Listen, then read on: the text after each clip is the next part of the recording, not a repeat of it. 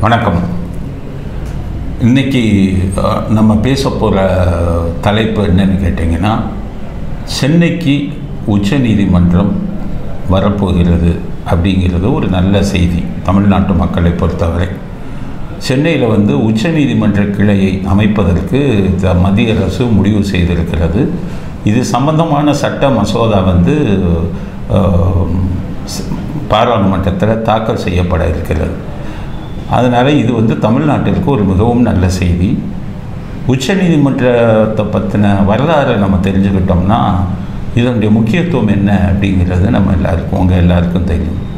என்னன்னு கேட்டிங்கன்னா உச்சநீதிமன்றம் இந்தியாவில் வெள்ளைக்காரர்கள் காலத்தில் ஆயிரத்தி தொள்ளாயிரத்தி முப்பத்தி ஏழாம் ஆண்டு நிறுவப்பட்டது. அப்போ வந்து இந்தியாவின் ஜனத்தொகை முப்பது கோடி. பாரதி பாரதியார் வந்து அந்த முப்ப அந்த டைம்களில் பாடல் கவிதை எழுதும்போது கூட முப்பது கோடி முகத்தவர்கள் அப்படிங்கிற மாதிரி எழுதியிருப்பார். வெறும் முப்பது கோடி ஜனத்தொகை இருக்கும்போது உச்சநீதிமன்றம் டெல்லியிலே தொடங்கப்பட்டது. ஆனால் இன்று ஜனத்தொகை நூற்றி முப்பத்தி ஏழு கோடி ஆகியும். உச்ச நீதிமன்றம் ஒரே உச்ச ஒரே ஒரு உச்ச நீதிமன்றம் தான் டெல்லியில் இயங்கிக் கொண்டிருக்கிறது. இவ்வளவு ஜனத்தொகை கூடியும். பல கோரிக்கைகள் போச்சு. உச்ச நீதிமன்ற கிளையை உருவாக்குங்க. தமிழ்நாட்டை எடுத்துக்கிட்டிங்கன்னா ஏழு கோடி பேர் தான் ஒரே ஒரு உயர் நீதிமன்றம் இருந்தது. ஏழு கோடி பேருக்கே மதுரையில் ஒரு உயர் நீதிமன்ற கிளையும் இங்கே ஒரு உயர் நீதிமன்றமும் வச்சாங்க.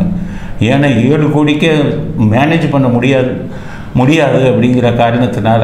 அப்படி இருக்கும்போது நூற்றி முப்பது கோடி ஜனத்தொகை கொண்ட இந்தியாவுக்கு ஒரே ஒரு உச்ச நீதிமன்றம் அதுவும் டெல்லியிலேயே வச்சுருந்தாங்கன்னா இதனால் மக்களுக்கு என்னென்ன பிரச்சனைகள் வந்தது அப்படிங்கிறத வந்து நான் பட்டியலிட்டு காட்ட விரும்புகிறேன் முதல் என்னென்னு முதல் பிரச்சனை என்னென்னு கேட்டிங்கன்னா உச்ச நீதிமன்றத்தில் நீங்கள் வழக்கு போடணும் அப்படின்னீங்கன்னா அங்கே டெல்லியில் இருக்கக்கூடிய வழக்கறிஞர்களை தான் நம்ம பிடிக்கணும். ஏன்னு கேட்டிங்கன்னா அவர்களில் தான் உச்ச நீதிமன்றம் ஒரு எக்ஸாமினேஷனை பாஸ் பண்ண வச்சு அட்வொகேட் ஆன் ரெக்கார்ட் அவங்கள தான் நீங்கள் பிடிக்கணும். பிடிக்க முடியும். அந்த மாதிரி ஒரு சட்டத்திட்டத்தை கொண்டு வந்துட்டாங்க.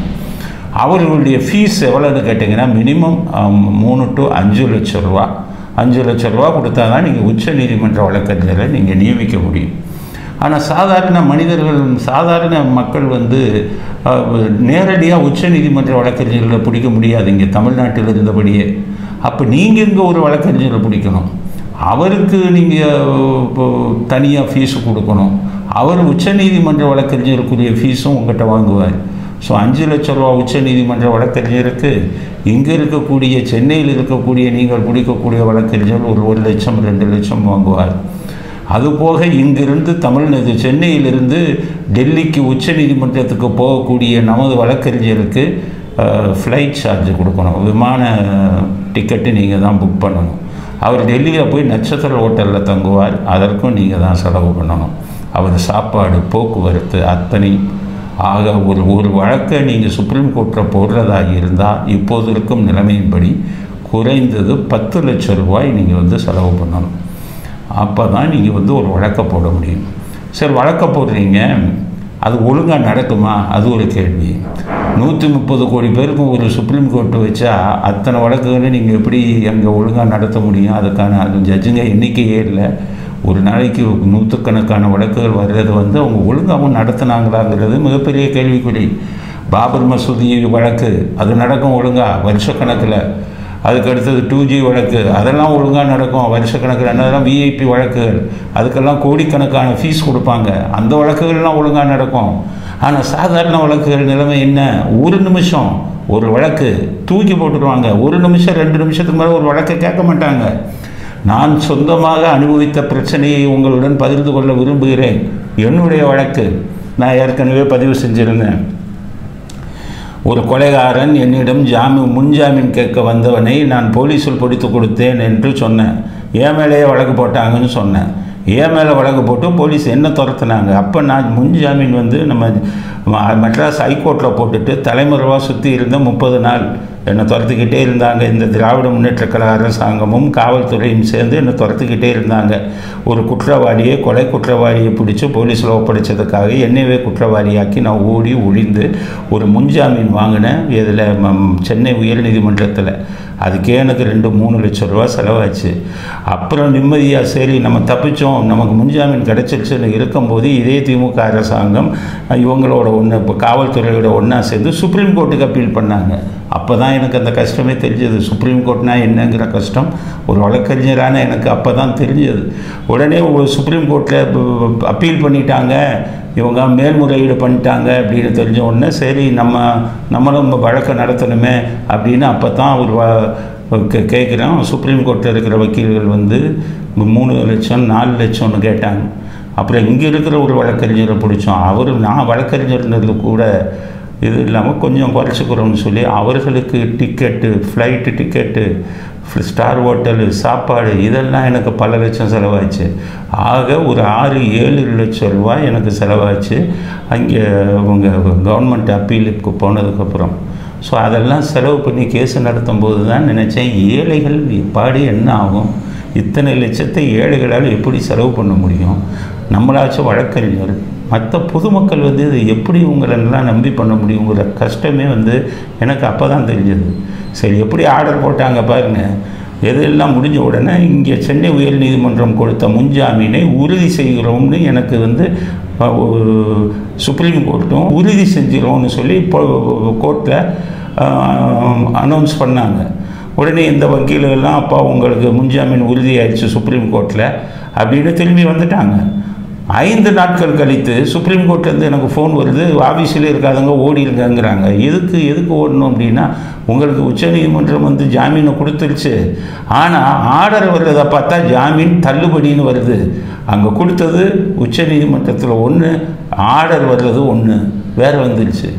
அப்போ என்ன பண்ணுறதுன்னா இங்கே தான் திமுக அரசாங்கமும் போலீஸார் ரெடியாக இருக்காங்க என்னை கைது பண்ணுறதுக்கு உடனடியாக மறுபடியும் பல லட்சங்களை செலவு செய்து ரெண்டாவது தடவை நான் வக்கீல்களெல்லாம் அங்கே அனுப்பி அந்த ஜட்ஜுங்கள் எல்லாம் பார்த்து எங்கே தவறு நடந்தது? இவங்க எங்கே போய் இந்த வேலை பண்ணாங்கன்னு தெரியல. இப்போ இதுக்கெல்லாம் ஒரு சுப்ரீம் கோர்ட்டுங்கிறது தான் ஃபைனல் கோர்ட்டு கடைசி கோர்ட்டு அதுதான். அந்த கோர்ட்டே சொல்வது ஒன்று ஆர்டர் ஒன்று வந்தால் என்ன ஆகும்? அப்போ இப்போ நீதித்துறை எப்படி செயல்பட்டுக்கிட்டு இருந்ததை பாருங்கள் இது வேறு. அப்போ சுப்ரீம் கோர்ட்டோட நிலைமை இதுதான். சுப்ரீம் கோர்ட்டோட நிலைமை இப்படி தான் நடந்துக்கிட்டு இருந்தது. பல வழக்கறிஞர்கள் எனக்கு தெரிஞ்சவங்க சுப்ரீம் கோர்ட்டை போ போகவே பயப்படுவாங்க. கேட்டால் சொல்லுவாங்க கண்டபடி ஆர்டர் வரும். நம்ம நினைக்கிறது ஒன்று அங்கேருந்து ஒன்று வரும். காரணம் நூற்றி முப்பத்தாறு கோடி பேருக்கு இவங்க ஒரே சுப்ரீம் கோர்ட்டை வச்சா இத்தனை வழக்குகளை வச்சு அதில் எப்படி கவனம் செலுத்த முடியும்?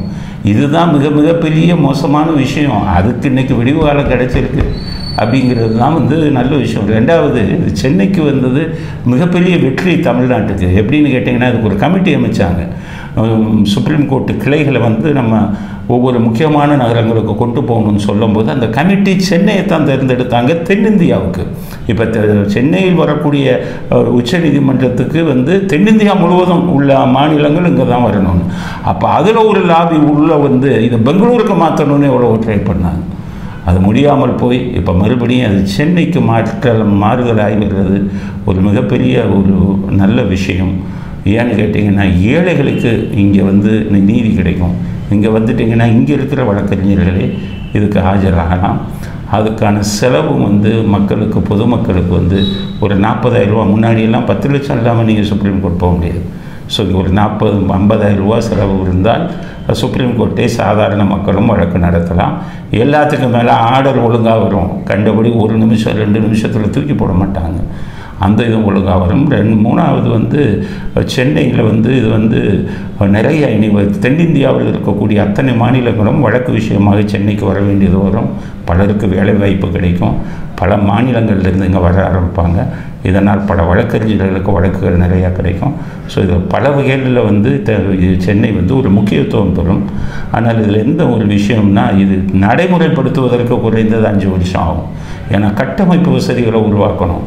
அதை வந்து நம்ம தமிழ்நாடு அரசாங்கம் ஸ்டாலின் வந்து இந்த சென்னைக்கு இந்த உச்ச நீதிமன்ற கிளையை கொண்டு வந்த மோடி அரசாங்கத்திற்கு நன்றி தெரிவிக்கும் இதே வேளையில் ஸ்டாலின் அரசாங்கத்திற்கு நான் விடுக்கக்கூடிய வேண்டுகோள் மூன்று வருடத்துக்குள் இந்த கட்டமைப்பை விரைவாக உருவாக்கி உடனடியாக உச்ச உச்ச நீதிமன்ற கிளையை தமிழ்நாட்டுக்கு கொண்டு வந்து தமிழ்நாட்டுக்கு பெருமை சேர்ப்பது மட்டுமல்ல நம்ம தமிழ்நாடு மக்களுக்கு குறைந்த விலையில் குறைந்த செலவில் நீதி கிடைப்பதற்கு உடனடியாக ஸ்டாலின் அரசாங்கம் நடவடிக்கை எடுக்க வேண்டும் என்ற வேண்டுகோளையும் நான் பதிவு செய்ய விரும்புகிறேன்.